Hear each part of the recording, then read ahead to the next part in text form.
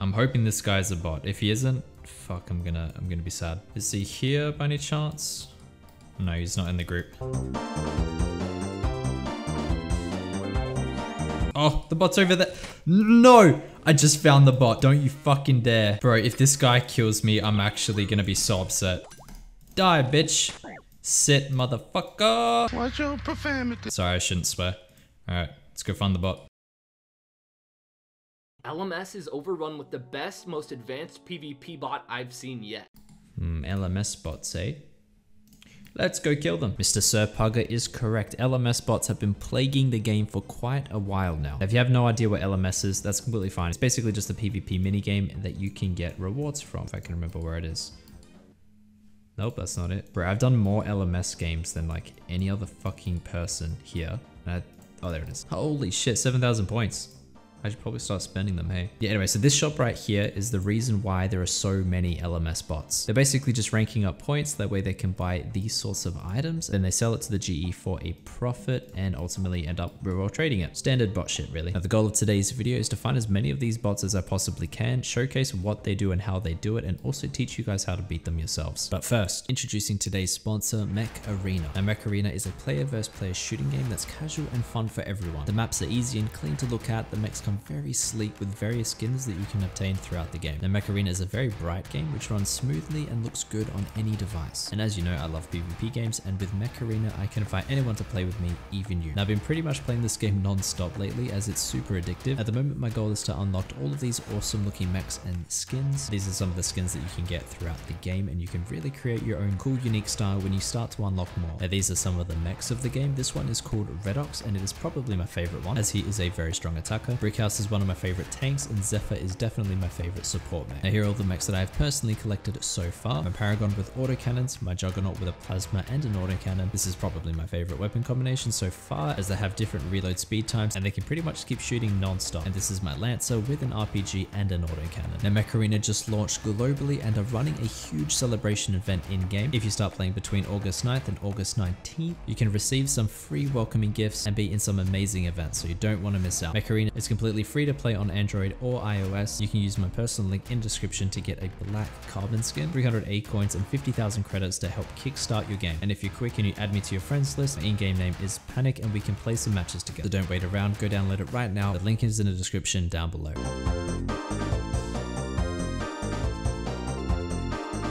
And then level 16, all of these guys have weird spam names. Look at this guy spam clicking me. He just got a kill but he's spam clicking me. Now look at his overhead. If I change to crossbow, range. Back to this, mage. Put a whip out, a few ticks later. You see that? Now watch this. I'm gonna one tick every single time. He's gonna flick to pray melee for a little bit. And he's gonna turn it off again. Every single time. So all I really have to do is camp the staff, then one tick. Just like this. And see how his range pray only turns on for one tick? Because I'm only wielding the crossbow for one tick. Now the way to beat these is simply one tick every single time, which is a lot harder than it seems. That's pretty much the only way to beat them. And here just whip, under, whip, under. And trying to pray the correct thing as well without Entity it is difficult. Automol them. And this way you're gonna hit him off prayer every single time. This guy is literally trying to spam click me, or this guy, yeah, because they're both bots. These bots actually seem pretty average. Like as you can see, they're switching quite slowly. They're not really attacking on every tick. It looks like they're programmed to act like a noob. So then they're like undetectable. That sort of makes sense. Now there are much better bots out there. I'm hoping that I run into one of them. I don't think I'm gonna run into it this game because I didn't see any level threes walk in, but we'll see.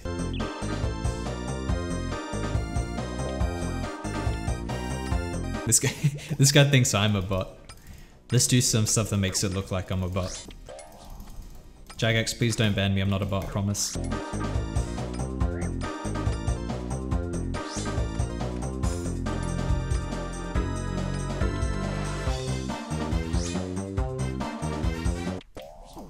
Oh, so laggy.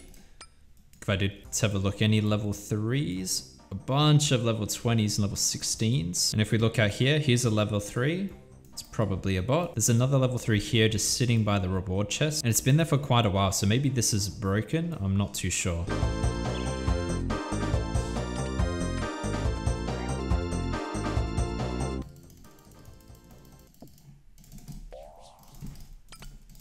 I don't think so, bro. Not a my LMS game. You're gonna come first or second, it's gonna be legitimate. Goodbye, bro. Mr. I Ate Zombies. Interesting name, bro. So this is the same as the other bot before.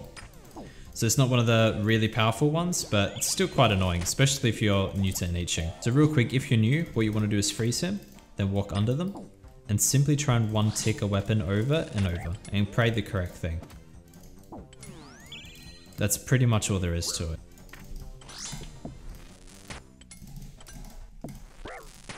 Go fight. Any good upgrades? Nope. And it looks like these bots don't actually upgrade themselves, which is unusual. We have a truce with this boy. We're gonna find and destroy all the bots. Oh. What the shit? This this guy just rushed me. I see how it is.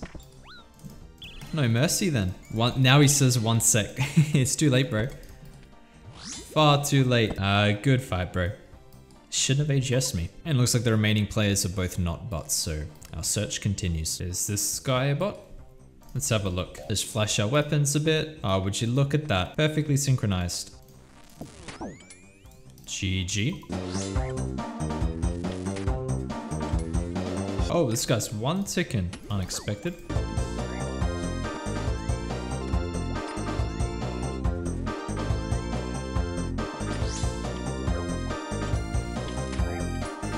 Oh, big hit. Easy prediction. Okay, I'm hoping this guy, Mr. Stark Marvel, is a bot and we run into him. Bro, no way this guy's gonna beat me because RNG, the one game that I find a bot. Oh my. If you don't know how the track works, I should have won by 158, but I'm only up 15. I'm a Jagex, just finish it.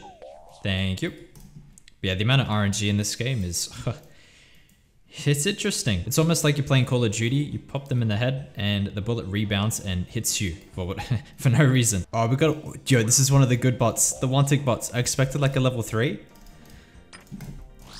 But uh, this will do. Okay, so look how his prayer changes every one tick. So if I one tick that, see? It's like a tick quicker than the other bots. And the switches are much more cleaner. Less mistakes. At this thing, it's doing four ways like it's nothing.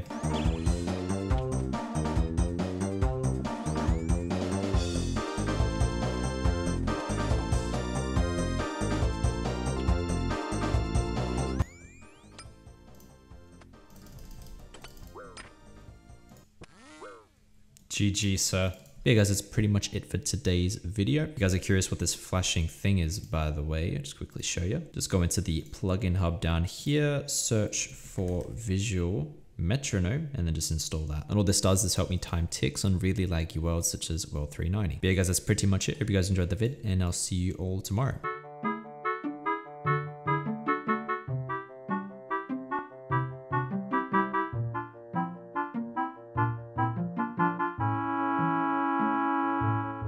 What are you waiting for? Do it! Yes, I'm real.